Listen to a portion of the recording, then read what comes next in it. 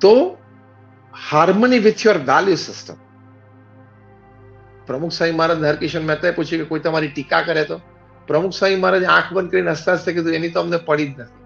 અમે એ તરફ લક્ષ્ય જ નથી આપતા. અને આપણે તો પહેલા જ આપણી ટીકા તરફ લક્ષ્ય આપીએ. એમ? એવું બોલ્યો? શું કામ બોલ્યો? કોણ કોણ હતું? બીજું કોણ કોણ? શું બોલ્યું? પ્રમુખ સ્વામી મહારાજે કહ્યું કે અમે ખાલી એટલું જ વિચાર કરીએ કે જે અમારી ટીકા કરે છે વ્યક્તિ સાચી છે. એટલે કે એની વાત સાચી છે? જો સાચી હોય, તો અમે સુધારો કરી લઈએ. પહેલા આપણે વાત કરી કે સુધારાને કોઈ સરજ નથી ને આપણે બધા વિદ્યાર્થીઓ છે લાઈફ ટાઈમ ટીકા કરનાર વ્યક્તિની વાત સાચી હોય તો આપણે સુધારો કરી લેવા તરત હરકિશનભાઈ મહેતાએ પૂછ્યું કે ટીકા કરનારની વાત ખોટી હોય તો? ઈર્ષાથી કે અભાવથી વાત કરતો હોય તો? તો પ્રમુખ સાહેબ મહારાજે કહ્યું, તો કોઈ દિવસ અમે એને જવાબ આપવા નથી જતા, એની સાથે ઝઘડવા નથી જતા અમે ભગવાનને પ્રાર્થના કરીએ છીએ કે ભગવાન એને પ્રેરણા આપીને સાચી વાત સમજાય. વોટ અ લોફ્ટી કેરેક્ટર પ્રમુખ સ્વામી મહારાજ possessed. એમનો જન્મ શતાબ્દી વર્ષ અમે ઉજવી રહ્યા છીએ. એટલે એમના જીવનમાંથી આ અમૃત બિંદુઓ, એમાંથી બે છાંટ આપણા જીવનમાં આવી જાય ને, તો પણ આપણા જીવનમાં અનેક પ્રકારની સંવાદિતતા સધાઈ જાય દેટ ઇઝ હાર્મની અને છેલ્લી વાત હાર્મની વિથ ગોડ ભગવાન સાથે સંવાદિતતા સાધવી. ભગવાન અસ્તિત્વ ધરાવે છે, ભગવાન સર્વ કરતા હરતા છે, ભગવાન પ્રત્યે અમારે શ્રદ્ધા ભક્તિ રાખવાની છે અને ભગવાનના આદેશોનું પાલન કરવાનું છે. આ ચાર વાત આપણે જીવનમાં દ્રઢ કરીએ, એટલે ભગવાન સાથેની આપણી સંવાદિતતા છે. ઘણા વૈજ્ઞાનિકોએ ગોડ શબ્દ વાપર્યો છે ઘણા વૈજ્ઞાનિકોએ સુપરનેચરલ ફોર્સ શબ્દ વાપર્યો છે. ઘણા વૈજ્ઞાનિકોએ હાયર એક્ઝિસ્ટન્સ એવા શબ્દો વાપર્યા છે. પણ સેંકડો વૈજ્ઞાનિકો માને છે કે ભગવાન અસ્તિત્વ ધરાવે છે અને ભગવાન સર્વ કરતા હતા છે. તમે વિદ્યાર્થીઓ છે, તમને બધાના નામ આપું છું. આર્કિમિડીઝ પોતે ભગવાનમાં શ્રદ્ધા રાખતા હતા. સર આઇઝેક ન્યૂટન ભગવાનમાં શ્રદ્ધા રાખતા હતા. ઇનફેક્ટ સર આઇઝેક ન્યૂટન તો પોતે પોતાના જીવન ચરિત્રમાં લખ્યું છે. જેને આપણને ગુરુદ્વાકર્ષણના નિયમો આપ્યા થ્રી લોઝ ઓફ મોશન આપ્યા જે આપણે બધા ભણ્યા. એક વિજ્ઞાનના વિદ્યાર્થી તરીકે અમે ભણ્યા, તમે લોકો ભણી રહ્યા છો અને ભણ્યા છો. એકસો ને પચાસ ડિસ્કવરીઝ અને ઇન્વેન્શન એમના નામે છે સર આઇઝેક ન્યૂટન એમણે એમના જીવન ચરિત્રમાં બહુ જ એક સુંદર વાત, એક જ વાક્ય લખ્યું છે. I am quoting him word to word and letter to letter sir Isaac Newton લખ્યું કે in the absence of any other proof the movement of this thumb alone convinces me of God's existence શું વાત લખી છે ન્યૂટને? આટલા મહાન વૈજ્ઞાનિક, અત્યારે દુનિયાના પ્રથમ પાંચ વૈજ્ઞાનિક પૃથ્વી પર લેવામાં આવે એવર, હા? કે પૃથ્વીમાં મનુષ્યનું અસ્તિત્વ શરૂ થયું ત્યારથી અત્યાર સુધી શ્રેષ્ઠ પાંચ વૈજ્ઞાનિકો એમાં ન્યૂટનનું નામ લેવું પડે.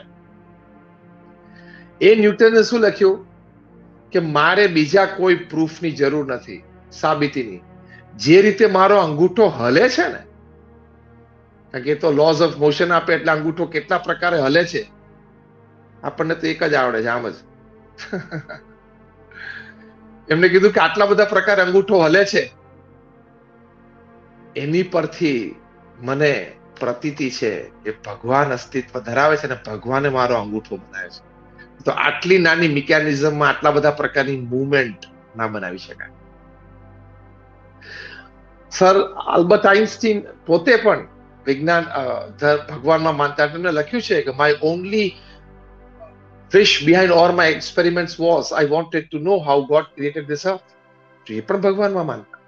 એટલે મહાન વૈજ્ઞાનિકોએ ભગવાનમાં શ્રદ્ધા રાખી છે, એટલે આપણે વિદ્યાર્થી તરીકે કદાચ બે વિજ્ઞાનની વાતો સમજ્યા, એટલે કોલર ઊંચા કરીને બે બટન ખોલીને એમ નહીં કહેવાનું ના ના, વિજ્ઞાન જ બધું છે, વિજ્ઞાનમાં ઘણી બધી વાતો છે, ક્યાં ભગવાન છે, કોણે બનાવ્યું છે?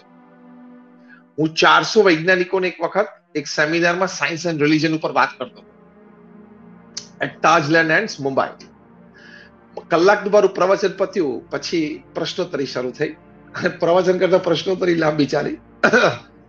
અને વૈજ્ઞાનિકોએ કીધું કે, Swami can we ask you any questions મેં કહ્યું feel free you can ask me any questions ગમે તે પ્રશ્ન પૂછી શકો છો. એટલે એક જણે પૂછ્યું કે, વિજ્ઞાન જ બધું પૃથ્વી ઉપર બનાવ્યું છે ને? માણસના સુખાકારી માટે. તમે એર કન્ડિશન જુઓ, તમે રેફ્રિજરેટર જુઓ, તમે કમ્પ્યુટર જુઓ ઇવન તમે મચ્છરદાની જુઓ, એ બધું વિજ્ઞાન જ બનાવ્યું છે.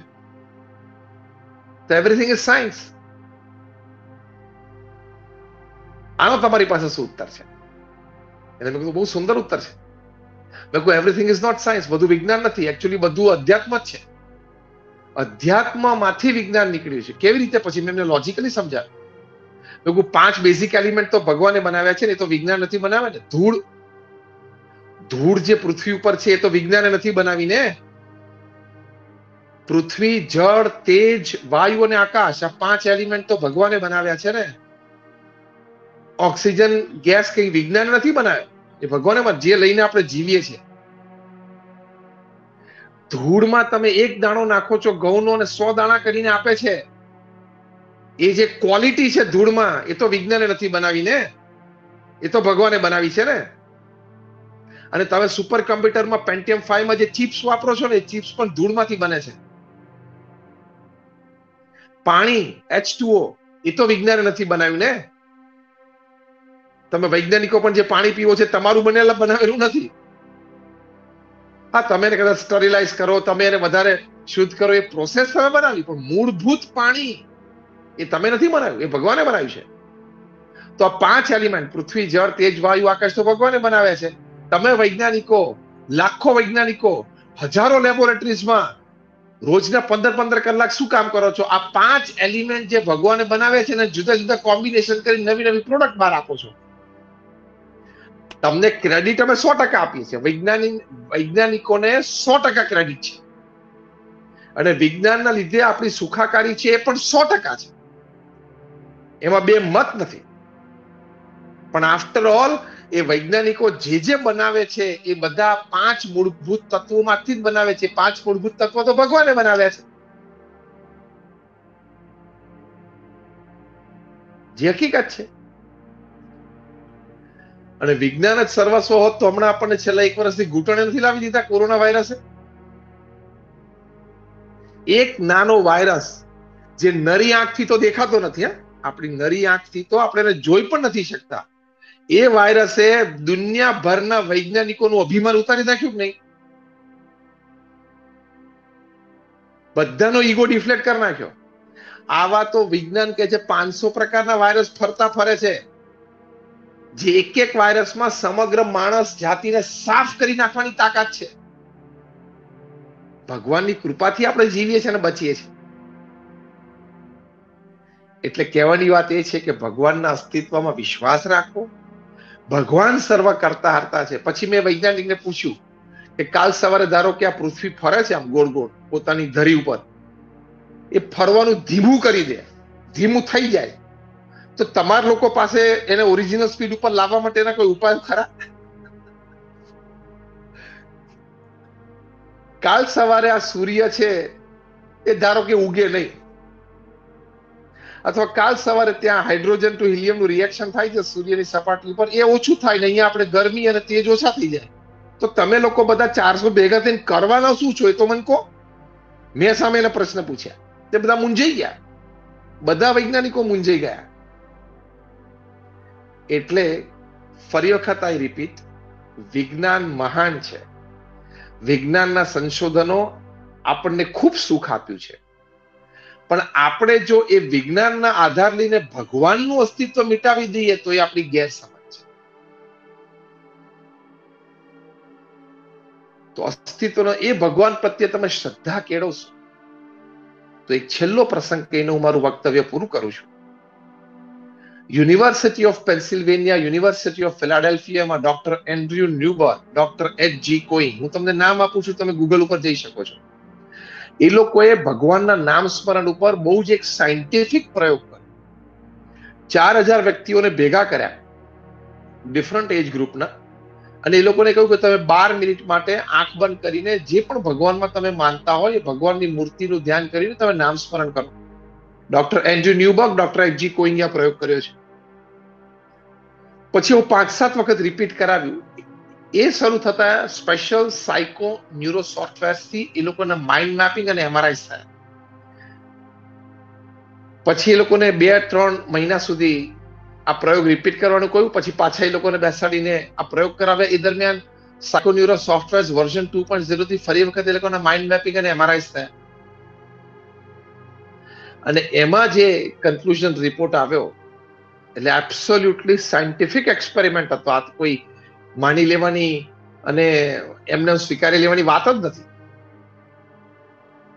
એમાં કહ્યું કે ભગવાનના નામ સ્મરણથી જે બાળકો છે ચારથી બાર વર્ષની ઉંમરના, એ લોકોમાં પંદરથી પચીસ ટકા મેમરી પાવર ઇમ્પ્રુવ થાય છે. આ સાયન્ટિફિક રિસર્ચ બોલું છું. હું તમને નામ આપું છું વૈજ્ઞાનિકોના. તમે ગૂગલ ઉપર જઈ શકો છો. જે બારથી બાવીસ વર્ષના યુવાનો હતા, તરુણો અને યુવાનો એ લોકોને પંદરથી પચીસ ટકા વધારો પોતાના વિલ પાવર અને કોન્ફિડન્સમાં આવે. તો આ સુખ માટેનું કારણ છે કે નહીં? તમારા સંતાનો, બાળકો, તરુણો અને યુવાનો, એમનો ભણતર એટલે વિદ્યા અભ્યાસ દરમિયાન મેમરી પાવર યાદ શક્તિ વધે પંદરથી પચીસ ટકા. એના એ પરિણામો સારા લાવવા માંડે અને સારા કોર્સિસમાં જઈ શકે તો પરિવારના સુખનું કારણ બની જાય કે ના બની જાય?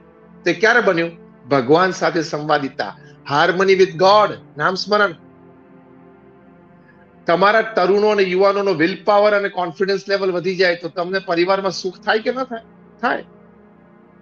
ત્રીજી વાત લખી કે જે બાવીસથી સાઠ વર્ષની ઉંમરના છે, જે બૌદ્ધ આજે આપણે વડીલ તરીકે પણ વેબિનારમાં માતા પિતા બેઠા છે, બાવીસથી સાઠ વર્ષના વર્કિંગ ક્લાસ એ લોકોમાં પણ આ વાત લખી કે એ લોકોને નામ સ્મરણથી, એ લોકોને પંદરથી પચીસ ટકા એ લોકોનો બફર કેપેસિટી વધે છે. એટલે શું? કે દુઃખ સહન કરવાની શક્તિ. કારણ કે જેટલા દુઃખ આવવાનો ઝાટકા બાવીસથી સાઠમાં આવતા હોય છે.